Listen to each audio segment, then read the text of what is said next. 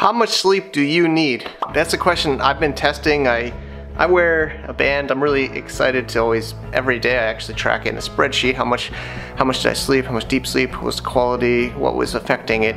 And I was influenced by Gary Vee, I think a lot of you know, and I got to actually meet him in Hong Kong uh, a couple years ago, and I just want to show you a quick clip of what he says about how much sleep do you need. Thank you, Gary. Hey, how are you, Mike? Good, good. Thanks so much. I, I like the sleep question. I, I, I don't sleep enough, so I, I gotta sleep more. You need more. to be smart. Like it's, it's again, it's like it's important. Yeah. It matters, but like, Alright. what matters just as much is what you do when you're awake. I like it. Hustling like this.